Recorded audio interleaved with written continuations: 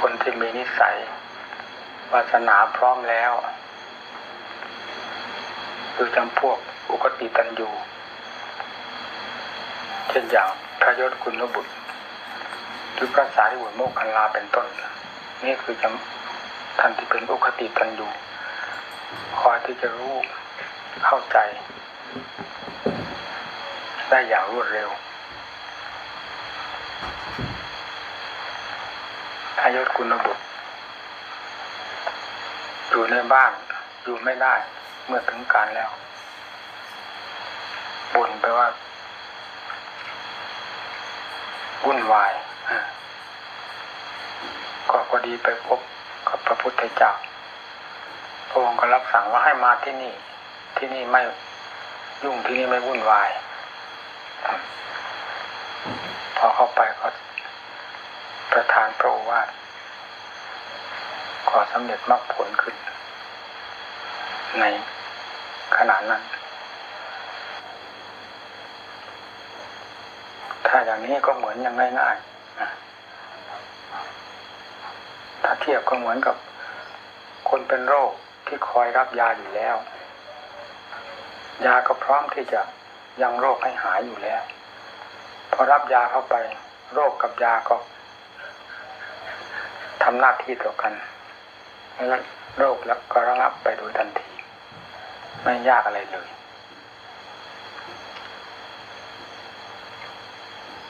ถ้าอย่างนี้ก็เรียกว่า หมอก็ไม่จำเป็นต้องเรียนมามากมาย คนไข้ก็ ไม่ต้องเป็นทุกข์เดือดร้อนในเรื่องเป็นไข้พอเป็นแล้วก็หมอให้ยามานับทานก็หายไปเลย นี่ถ้าเราพูด ขั้นหนึ่งเป็นอย่างนี้ แต่อีกขั้นหนึ่งก็หนักลงไปกว่านั้น หนักลงไปเป็นขั้นๆจนถึงขนาดที่ว่าโรคไม่ฟังยา ยาจะดีวิเศษวิโสหมอจะมีความรู้เชี่ยวชาญที่ลึกขนาดขนาดไหนมันก็เข้ากันไม่ได้กับโรคชนิดไม่รับยา สุดท้ายก็ปล่อยไปตามบุญตามกรรม จิตใจของสัตว์โลกก็เหมือนกันเช่นนั้น ที่คอยรับยาอยู่แล้วอย่างท่านอุปติตันยู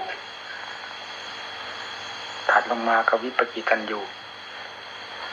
แล้วก็มาในยะที่พอแนะนำสั่งสอนหรือพอฉุดพอลากกันไปได้ อย่าง ที่เราทั้งหลายอุตส่าห์พยายาม ตะเกียบตะกายด้วยวิธีต่างๆ หลายครั้งหลายผลทำซ้ำๆซักๆทำมากก็ค่อยจางเข้าถึงใจเข้าถึงใจเมื่อเราทำไม่หยุดไม่ถอยธรรมะออกเข้าถึงใจเรื่อยๆเอาไปหล่อเลี้ยงภายในจิตใจ เรื่องกิเลสก็ค่อยขยายตัวออกไป ขยายตัวออกไปธรรมะมีมากเพียงไรอำนาจก็มากกิเลสก็มีอำนาจน้อย ถ้าธรรมะไม่มีเลยกิเลสมีอำนาจเต็มที่ อยากแสดงตัวยังไงก็แสดงมาเต็มไม่เต็มหน่วยความเดือดร้อนจึงมีมาก เพราะกิเลสมันมาก มีอำนาจมากก่อความเดือดร้อนให้แก่โลกได้มาก เมื่อธรรมะได้แทรกสิงเข้าเข้าถึงใจมากน้อยกิเลสก็ค่อยอ่อนกำลังอ่อนอำนาจลงไปธรรมะก็มีอำนาจลงเข้าไปโดยลำดับลำดับ การปฏิบัติธรรมจึงมีความจำเป็นอย่างยิ่ง ที่เราจะพยายาม ให้ทำเข้าสู่จิตใจอยู่โดยสม่ำเสมอ ไม่ว่าจะอยู่ในสถานที่ใด ๆ เพราะกิเลสไม่ได้มีการไม่มีสถานที่เวล่ำเวลา อดีตอนาคตไม่ขึ้นอยู่กับสิ่งใดทั้งหมด แต่ขึ้นอยู่กับการผิดการทำของมันเท่านั้น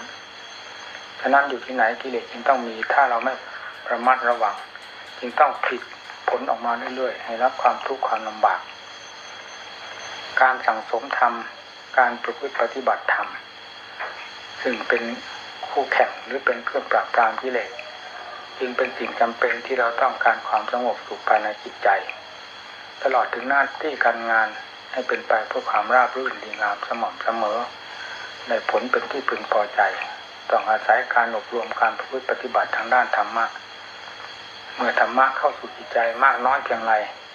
ใจก็จะค่อยเกิดความยิ้มแย้มแจ่มใสมีความสงบร่มเย็นภายในตัวเอง และเห็นคุณค่าแห่งใจ และเห็นคุณค่าของตัวเองไปโดยลำดับธรรมจึงมีความจำเป็นสำหรับผู้ต้องการความสุขความเจริญโดยทั่วกันซึ่งจะควรอบรมให้มีขึ้นภายในจิตใจ ยากลำบากเราไม่ต้องถือว่าเป็นอุปสรรคคือเคยได้อธิบายมาหลายครั้งหลายหนแล้ว การแก้กิเลสจะไม่ยากยังไงกิเลสมัน ก่อตัวมาตั้งแต่เมื่อไรเราไม่ทราบได้เลย เราไม่ทราบจนกระทั่งว่าปู่ย่าตายายของกิเลสคืออะไร โคตรแท้ของกิเลสคืออะไร ไม่ทราบได้เราจะทำลายกิเลสซึ่งฝังรากฐานลงอย่างลึก เราจะทำลายเอาอย่างใจหวังให้ได้อย่างปอกกล้วยมันก็เป็นไปไม่ได้ เพราะกิเลสไม่ใช่กล้วยอพอที่จะปอกแล้วเอามารับทานเลยอย่างนั้น ผู้ปฏิบัติธรรมจึงต้องเป็นผู้มีหลักใจอันแน่นหนามั่นคง คือมีหลัก ใจมีหลักใจ หนักแน่นพูดง่ายๆมีเหตุมีผลเสมอ เป็นเครื่องบังคับ ให้ใจดำเนินหรือเดินไปตามเหตุผลที่เราพิจารณาแล้วนั้น ใจดำเนินตามหลักของเหตุผลอยู่โดยสม่ำเสมอ ความชินของใจก็มีด้วย และสิ่งที่จะมาก่อควรจิตใจให้ได้รับความทุกข์ความลำบากคือเรื่องของกิเลสก็มีน้อยอยู่เป็นลำดับนี่อาทิตท่านสอนให้ไปอยู่ในป่าในที่สงบสงัดอย่างพระท่านอยู่พระครั้งพุทธการมีจำนวนมากมายที่มุ่งต่อแดนพ้นทุกข์และประพฤติปฏิบัติตนด้วยวิธีที่กล่าวมานี้ องค์นั้นสำเร็จอยู่ที่นั่นองค์นี้บรรลุอยู่ที่นั่นเรื่อยมาโดยลำดับ ข่าวของท่านมีแต่ข่าวดีๆแต่เรามองดูแต่ผลก็เหมือนกับท่านล้างมือเปิดแต่เหตุคือการบำเพ็ญของท่านท่านสละเป็นสละตาย มาแทบทุกองค์ทีเดียว ไม่ว่าจะออกมาจากสกุลใดๆก็ตาม เมื่อได้มุ่งหน้ามาประพฤติปฏิบัติธรรมด้วยความเชื่อความนสายต่อพระว่าคำสอนของพระพุทธเจ้าแล้ว ต้องเป็นผู้เปลี่ยนทั้งหมดจริตนิสัยใจคอความ เป็นอะไรมาแต่ก่อน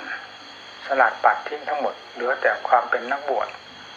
พยายามดำเนินตนตามหลักธรรมที่พระพุทธเจ้าทรงสั่งสอนเท่านั้นเอาหนักก็หนักเป็นก็เป็นตายก็ตายอดก็ยอมอดอิ่มก็ยอมอิ่มขอให้บำเพ็ญ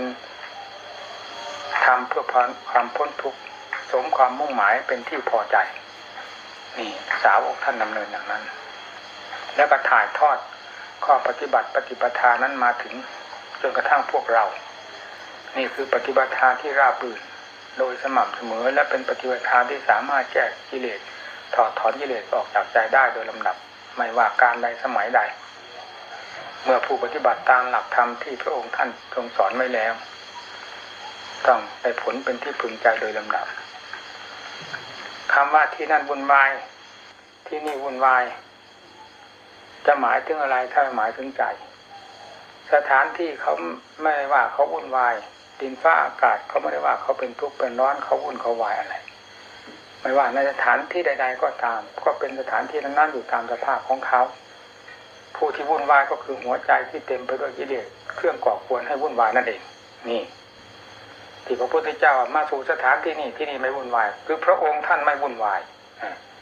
พระองค์ได้ชำระหมดแล้ว สิ่งที่วุ่นวายภายในจิตใจ ภายในพระไถ่ไม่มีสิ่งใดเหลือแล้ว สถานที่นี่ไม่วุ่นวายพระยศถ้าพูดถึงชื่อพระยศก็เอายศเข้ามานี้อ่าที่นี่ไมันวุ่นวาย แต่ตอนนั้นพระพุทธเจ้าจะทรงทราบชื่อทราบนามเขาหรือไม่ทราบก็ตาม เราก็หมายเอาผู้นั้นแหละ เมื่อเราทราบชื่อของท่านแล้ว ที่นี่คือสถานที่นี่เขาเป็นสถานที่บำเพ็ญเพื่อความไม่วุ่นวาย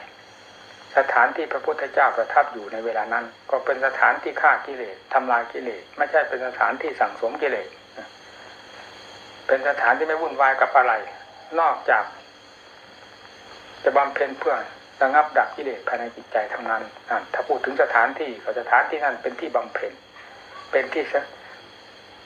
ระงับดับกิเลส ซึ่งเป็นตัววุ่นวายให้สงบระงับลงไปโดยเราโดยลำดับจนกระทั่ง